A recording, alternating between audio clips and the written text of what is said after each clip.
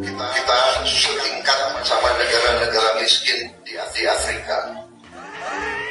Berarti Indonesia setelah 73 tahun merdeka berada setingkat dengan Rwanda, Sierra Leone, Haiti, Haiti, Haiti, Haiti,